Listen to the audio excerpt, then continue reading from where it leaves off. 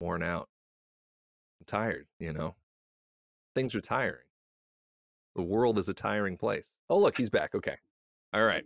So I've been I've been reading this book. It's a short book with the worst cover and the worst name of any education book that I've ever read. So oddly enough, it's it's not really a pedagogy book. It's a book about changing people's minds on education reform, but that is such a boring angle for a general audience that I think we're just going to take it in the other direction and just say like, "Hey, what are what are the metaphors and prototypes that influence the way that we think about education?" The first thing that we're going to do hopefully Chris has his uh, paper. He's got something to draw with, or uh, is going to do the digital equivalent. I thought we would just start by before we get into schools. Which one do you want to do? You want to do birds or homes? Uh, home. A home. Oh, okay. That's kind of the most boring one, but okay. So let's just take uh, a minute or two and let's each draw a picture of a home. It's like what the house emoji it looks like on. you go to the emoji keyboard. Mm-hmm. you know what? Yours looks exactly like if uh, I drew my house in, um, in like Photoshop or whatever you use. So yeah, Wow, the, the platonic ideal of a of a suburban house, right? Is kind of what Chris and I both ended up pulling up here. Do you just want to describe yours for uh, just a minute, Chris? What what kind of went into the creation of yours? What what wells of experience and knowledge and understanding were you using to to guide your what you ended up creating for your Yeah, prototype? one second. I'm just putting my finishing touches on it. Oh, okay. Wait for this bar to fill up here.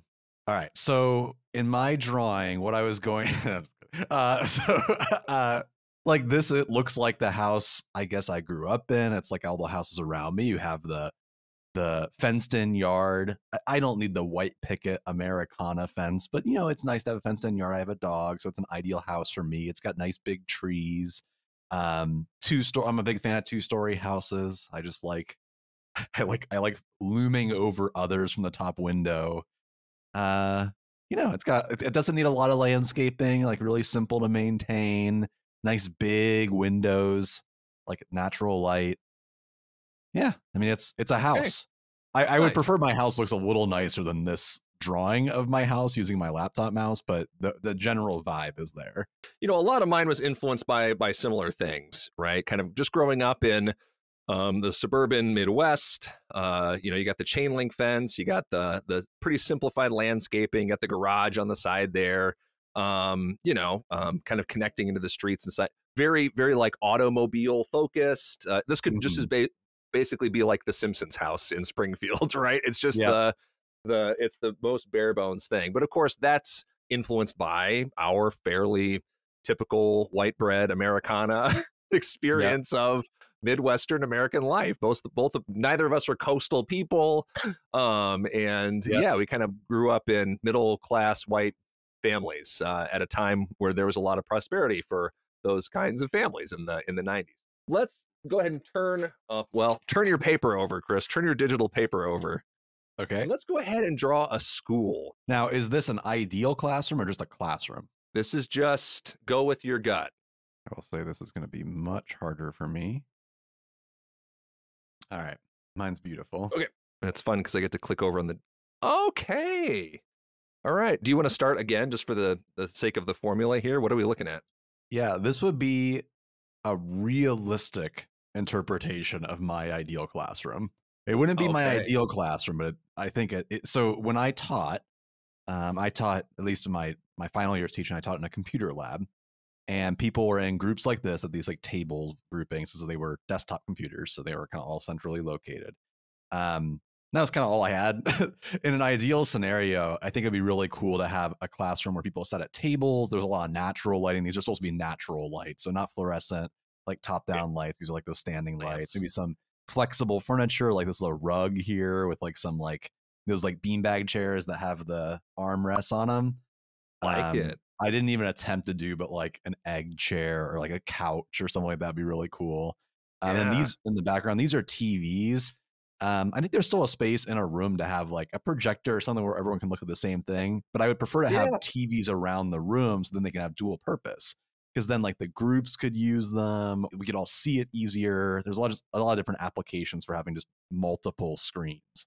Yeah, what's really interesting is I think yours is a lot more probably prototypical of I don't know, like an average elementary school classroom. A lot of elementary Yeah, yeah, yeah. classes, pre-K, are really, you know, constructed like this. But I think this might be a fairly radical setup for as you get into maybe you make the middle school shift, you know, from elementary to middle, and then into high school, and you start to perhaps see what I what I ended up coming up with here, which is again like in the in the prototypical sense, this certainly describes my uh, classroom experience um, as a as a kid growing up. Now, maybe in some classes, like a science class, we were potted up, you know, and there were more hands-on things or more collaborative, kind of like lab work.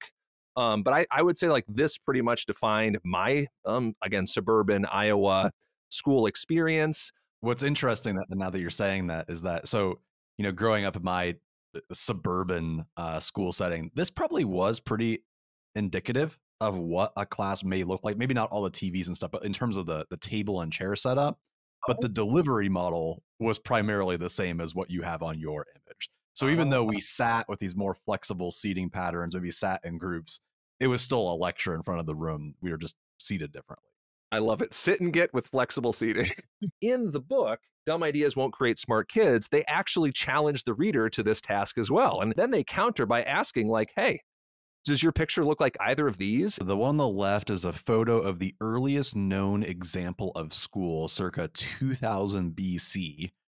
And the one on the right is Miss Logan in, it's at Miami University here in Ohio, um, a normal college model school classroom, uh, 1911. Two, three, almost 4,000 years in between. Both of these images really predate any of our modern understanding of psychology, pedagogy, neuroscience, neurobiology, sociology, cognitive science, linguistics, learning and curriculum design, assessment, disability, neurodivergence, education policy, all of that, which really is a product of the 20th and the 21st century. Think about how little we knew about the brain and how it worked 100 years ago.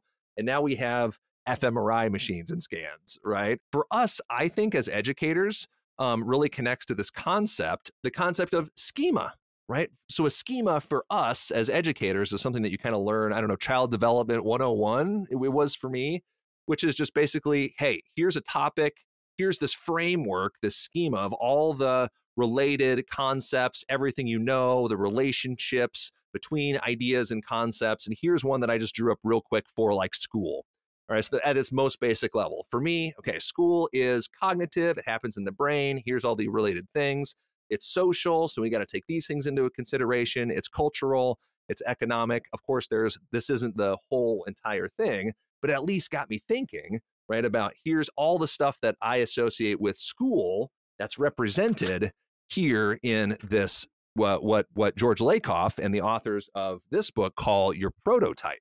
So if you click on the next one, Chris, we'll see what that one is. Nice. So in that prototype of school rests, uh, it's a representation. Um, our, our brains organize that schema by creating these prototypes, a representation of the category of the schema that turns right this con uh, these abstract concepts into a concrete thing called school. So whether the outside looks like that or the inside looks like the models that Chris and I um, have talked about here. And of course, there are other schema. If you want to look at the next one, Chris. Nice. Oh, we didn't do birds. You can close out of that. that would be out of context. right? Chris and I's schema for homes does include these things, right? We are aware of other types of housing, aren't we? Like we know that other people in other societies and civilizations throughout time have lived in other types of housing. But our schema, our prototype rather, of the prototypical American home is based on the schema that we've built up through our experiences. Okay. Um, so it doesn't look like, um, uh, you know, I don't know, um, in uh, Latin America, you know, or uh, uh other kind of indigenous uh, influences in Central and, and South America, perhaps in the American Southwest, or you know, on the African savannah, right, where you're not going to have access to the same kinds of building materials, and you have different needs for the people that live within them, or in you know tsunami zones in southeast uh, and southwest Asia, um, where you're going to need to be more responsive to those elements. You know, so we know that these things exist, but our prototype represents the schemas that Chris and I have as you know Midwestern suburban white dudes. What's the next thing that we got on here? Cool. So that's the same thing for our schema of school. We have a bunch of different um, notions of what school could be. And I just searched on Google images for school. And the ones on the left there are literally the first three results. it's like the clip art um, mm-hmm. example for school, both in you know reality with the clip art, um, or I guess in the clip art, sorry, and then in reality with that second image, and then the third one is literally the inside picture um, uh, that that I had drawn on my side over here. But Chris, we also know you and I that different types of school exist. Montessori schools exist that look dramatically different from uh, you know the models that you and I are are uh, we were familiar with when we came up in traditional suburban schools and even outdoor classrooms too. So why do we think of school or education as having to happen within you know these particular four walls and these desks in rows? There's a lot of valid legitimate learning that happens outside of those walls too. So what are the metaphors influencing the construction of our prototypes of school? So yeah, and I included this clip from The Mandalorian. We we will get to it here. I think. No, let's just go ahead and watch it. But I included this clip of The Mandalorian to even see how, for the showrunners, for the you know script writers, et cetera, for this show that takes place.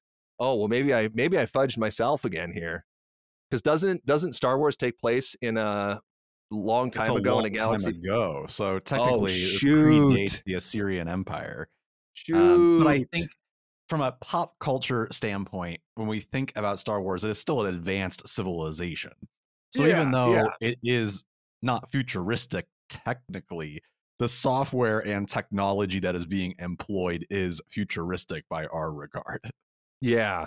I mean, the point that you're getting at though is that the the interpretation of school as classroom in rows is transcending solely hey our ability to understand what's what school is in the present but also being able to imagine what school could be in the future. So even though again star wars i mean giant asterisk is technically in the past from a science fiction perspective it is quite silly that they have this advanced civilization with like all of this technology and they're literally flying through space and and you know are visiting all these planets but yet school still looks like school, just like how we have it today. It's it's school. It's the exact same. They even have tablets that they're learning on to make it more individualized. Yes, you're right. Like call it the factory model, big scare quotes there, transmission model, the traditional model, the mechanical model, the banking model. Paulo Freire um, coined that term there too. So it relies on the conduit metaphor for learning, where we understand the brain and the mind as an empty vessel right? That's the metaphor that fits for not just these imagined futures in Star Wars or the prototypes that Chris and I came up with, but also like just the past, how these things were organized.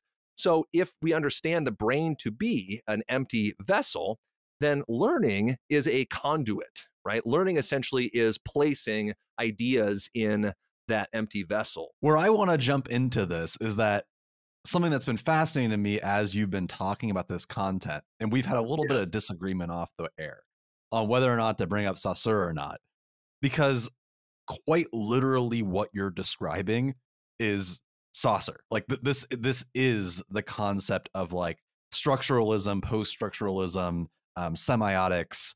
These these really advanced. I don't even call them advanced concepts, like foundational concepts to linguistics um, and to an extent philosophy. My goal, as you've been talking about this entire video, is really just to convince you that those things matter in this narrative in terms of how we're talking about school, how we talk about school with kids, etc. Right. Does that make sense? Are you going to talk about that? Or can, yeah, I'm, trying, I, making it interactive. I, I'm, I'm waiting for your response. Uh, how do you record? How how do you do video content? How is that done? I just think we can eh, we can access those through simpler ways without an appeal to French authority. Um, we can demonstrate and we can see the impact that these actually have um, without necessarily connecting them to a framework that maybe makes makes it more complicated and less likely for communication to be effective? I, I would make the argument that that claim would imply that you should teach people how to do experiential learning without talking about John Dewey, or that we should understand the fundamental ideas of having a democratic discussion about society without ever bringing up Paulo Freire. It's like at, at what point does theory matter in the conversation about making change in the real world? You know what I'm saying? So like how I do think we it's like a tier. I think it's like a tier two thing because I think first step one is saying like, oh, see how this could be important and see how these ideas could be valid, and then you connect it to frameworks because then you're like, oh, this is exactly what George Lakoff was talking about, or this is exactly what Freire was maybe, talking but I would about. or this argue that the way that you're interpreting this book is already in in the second frame. like let, let me explain really quick Okay. what what these concepts are and maybe we'll have uh, that that moment where we come together after we're there. Maybe people will learn if they don't. So let's first start with structuralism. Do you know what structuralism is nick? No.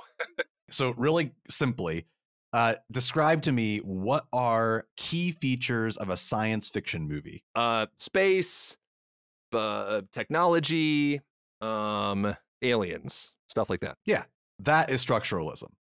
Structuralism which could be applied to a variety of different things one thing that we can understand structuralism through is genre the idea that there are these various structures or foundations that are a part of our culture so when you and i are talking about something like science fiction we both kind of know what that is we've We as a society yeah, Yeah. we have a society have developed those terms, right? Like science Right. fiction didn't predate human understanding and knowledge.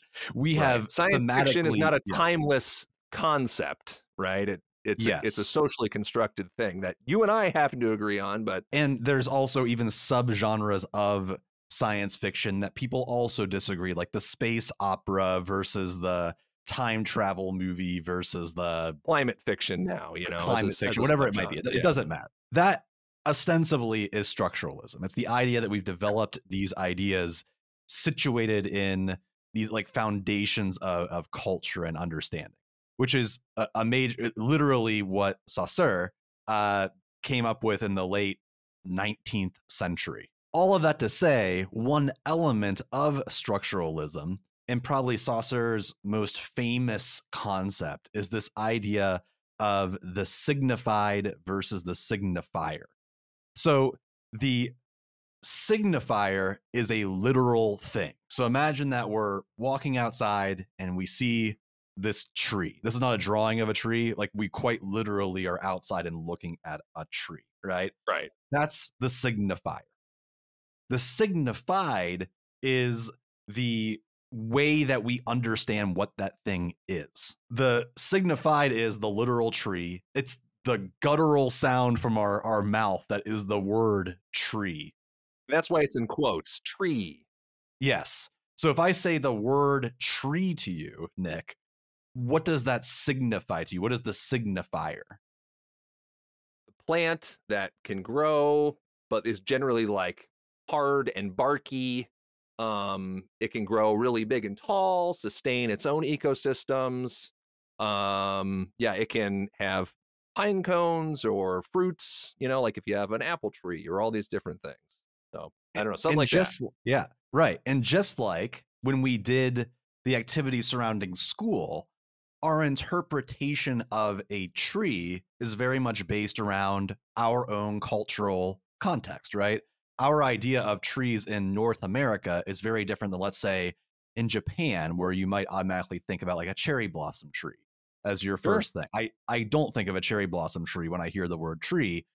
I associate that with an entirely different category, right? A cherry Yep. blossom tree is like its own thing, whereas trees are like pine cone trees or fruit trees or whatever those things might be. as distinct from other plants too right because there's a Right. definition of tree that could be so broad that could include all types of plants that would then have to be it would necessarily be incorrect because it's too broad you got to narrow it down a little bit That's very interesting because like Saussure's whole thing was coming to the realization that the way that which we describe things is based around the way that we don't describe other things. But that's, Oh. that's beyond the scope of this conversation.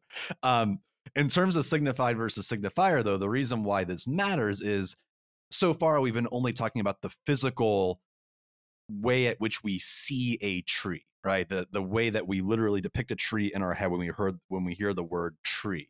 But there's also an emotional element to this as well that's associated with that, right?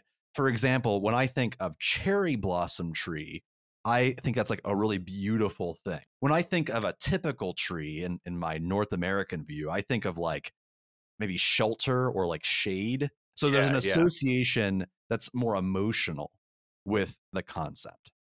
In the same way, if we go back to our uh, pictures of school, it's not just that we're thinking about these concepts as physical space. We are when we imagine a classroom, but we're also imagining them as an emotional space. The way at which, you know, when you were talking about your like Iowan growing up version of school, what emotionally do you connect that with? Not not very positive.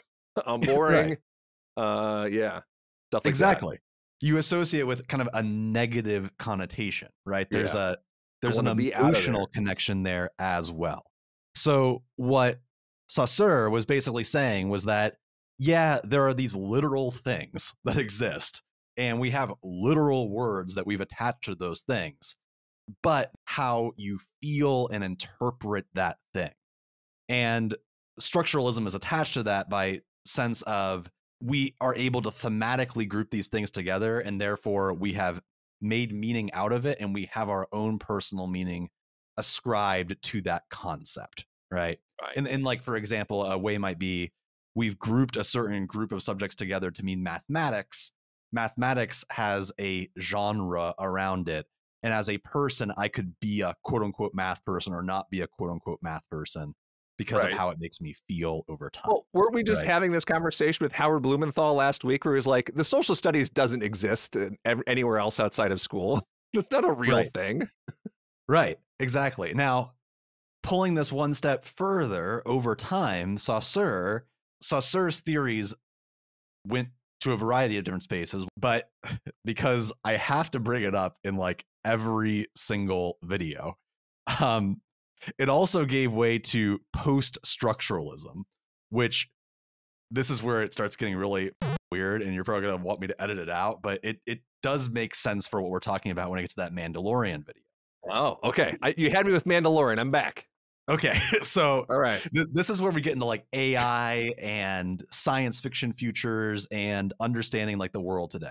So, Okay, I'm in. I'm in. so Saussure basically said that we understand, for example, the genre of science fiction because there are a bunch of science fiction films and people create things in that science fiction category. And although like there are people that deviate from the norm, we're able to recognize what the deviation is. So, for example, if the twist of the movie is that it was all a dream, for example, that's a trope that occurs in a lot of different like science fiction films or, or like films that do like a lot of psychological horror type stuff. If a film doesn't do that, then sometimes we're like, oh, that's really breaking from the norm. But we still understand that conceptually. You know what I mean? Like that's a thing. Heroes and anti-heroes kind of thing. It's like the anti-hero is sort of a subversion of just like the normal normal hero's journey that maybe has us as readers identifying and cheering someone for whom in a traditional context would be a villain or the bad guy kind of. So then that pulls us into now the 20th century. And my, my man, Jean Baudrillard, um, who did a lot of stuff surrounding post structuralism. In post structuralism, we're shifting our understanding of that, which uh, the, the, the general gist of this is, is that there are multiple different truths and meanings of anything based around the person who's interpreting that concept. So it's not that there's a universal truth that this is what science fiction is. It's that every single person who interacts with science fiction is going to have a different interpretation of that thing. And the only reason why that thing feels like it's a universal truth is that we've made it so. Does that make sense? I mean, it's it's the it's kind of like the comic book guy again to bring up the Simpsons, right? Are the uh, uh, nerd fandoms and cultures just sort of argue in, in incessantly about uh, these these uh, different overlaps between subgenres and sub subgenres and how each of these kind of the obsession with uh, these categories of things, not realizing perhaps that they're participating in the construction of those labels while they are also nitpicking them. Yes. Now, where this gets really crazy, and the thing that interests me about the Mandalorian concept is that Baudrillard believed that we have moved to a point. If I go back to the Saussurian model, he examined the Saussurian model, and he basically said that there was no such thing anymore as the signified. That the signified was basically being constructed for us. And at this point, really all we had was the signifier. Imagine that you're watching uh, uh, a sitcom like the Brady Bunch or something, right? Family, uh, kind of uh, comedic situation, situational comedy. It's what it's in the name. Right. a It's- it's- family situational comedy. That's how I would understand it. right. And how's that family constructed? How do they interact? Oh, uh, I mean, dad is kind of a lumbering goofball. Mom's taking care of the family. Uh, the kids are, uh, the girls are off dating and chasing boys and cheerleading, and the guys are, you know, doing traditionally masculine coded activities, and you know, hijinks ensues. I don't know. right? And that's like a whole genre, right? There there is Right. a whole thing of different uh different sitcoms that all follow those same tropes based off of this idea of a modern sitcom. What Baudrillard argued in terms of post-structuralism is that the signifier doesn't exist because the sitcom isn't based off a real family.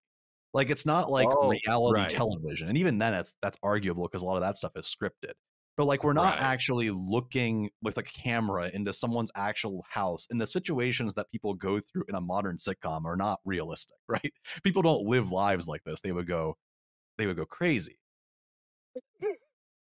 okay so I, I don't know if i'm starting to lose you it's my last point surrounding this and then we'll, we'll open it up to the mandalorian thing and this is where i think it gets really cool baudrillard believed his fear was that we would begin to judge ourselves based off of the rationale of the signified. So, for example, I would watch a modern sitcom and I would curb the way that I act and behave and represent myself in the real world based off of my interpretation of what I saw inside the modern sitcom. So, the modern sitcom never actually existed in real life. But Right. me as the viewer, I will watch that and then emulate it in my real life. I'm living what he called a simulacra, a, a simulation of reality, so that media has actually overtaken what is real, and I'm just replicating what I see.